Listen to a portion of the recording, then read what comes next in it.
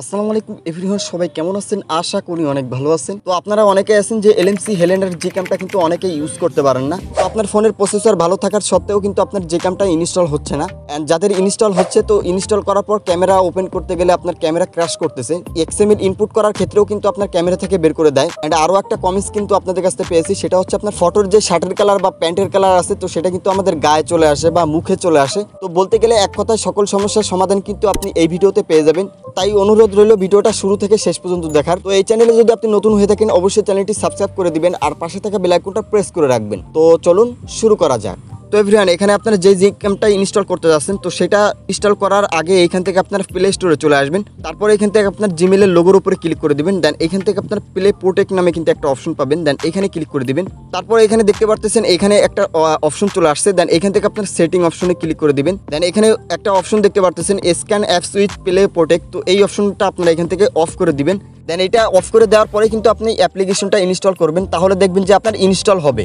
দেন দুই নম্বর যে সমস্যার সমাধান দিচ্ছি, তো অনেকেই কিন্তু আপনারা এক্সএমএল ইনপুট করার ক্ষেত্রে আপনার ক্যামেরা থেকে বের করে দেয় তো এই সমস্যার মূল রিজন হচ্ছে আপনারা এক জি ক্যামের কনফিগ অন্য জি ক্যামে ব্যবহার করে তো এর জন্যই কিন্তু আপনার এক্সএমএল ইনপুট করার ক্ষেত্রে ক্যামেরা থেকে বের করে দিবে। তো আপনারা কখনোই এক জি ক্যামের কনফিগ অন্য জি ক্যামে ব্যবহার করবেন না। তো এখানে কিন্তু আর ষোলোর কনফিগগুলো আপনি আর সতেরোতেও ব্যবহার করতে পারবেন বা আর আঠারোতেও ব্যবহার করতে পারবেন।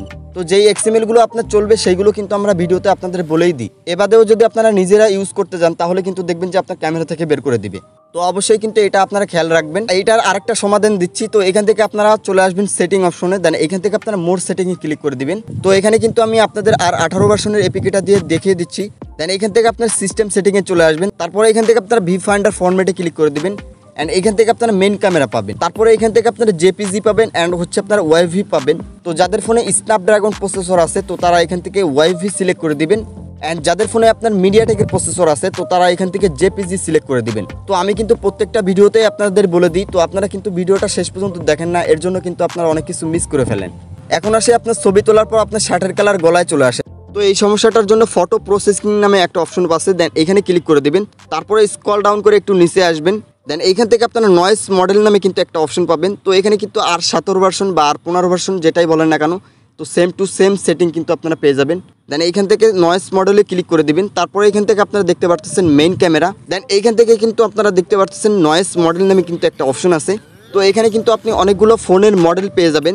তো আপনার ফোনের মডেল যদি এখানে থেকে থাকে, অবশ্যই সেটা সিলেক্ট করে দিবেন। অ্যান্ড যদি আপনার মডেল না থাকে, তাহলে কিন্তু আপনারা যে কোনো একটা মডেল আপনারা এখান থেকে সিলেক্ট করে দিবেন। তাহলে দেখবেন যে আপনার সমস্যার সমাধান হয়ে যাবে। তো এভরিওয়ান এই সেটিংগুলো পরিবর্তন করার পর অবশ্যই সেভ করে রাখবেন, না হলে কিন্তু আপনার আগের যে সমস্যা, সেটা কিন্তু আবার ফিরে আসবে। দেন এখান থেকে কনফিগ সেটিংয়ে ক্লিক করবেন, তারপরে এখান থেকে সেভ সেটিংয়ে ক্লিক করে দিবেন। দেন এখান থেকে যে কোনো একটা নাম টাইপ করে দেন এখান থেকে এই সেটিংটা সেভ করে রাখবেন। তাহলে দেখবেন যে আগের যে সমস্যা, সেটা কিন্তু আর ফিরে আসবে না। অ্যান্ড এখানে কিন্তু এটা সেভ হয়ে যাবে। এভরিওয়ান, এই ভিডিওর ইনফরমেশন যদি ভালো লেগে থাকে, অবশ্যই ভিডিওতে একটা লাইক করে দিবেন। আর কমেন্ট সেকশনে আপনার মতামত বলতে ভুলবেন না। অ্যান্ড চ্যানেলে যদি নতুন হয়ে থাকেন, অবশ্যই চ্যানেলটি সাবস্ক্রাইব করে দেবেন। আর পাশে থাকা বেল আইকনটা প্রেস করে রাখবেন। তো দেখা হবে, কথা হবে নেক্সট কোনো ভিডিওতে। ততক্ষণ সবাই ভালো থাকবেন। আল্লাহ হাফেজ।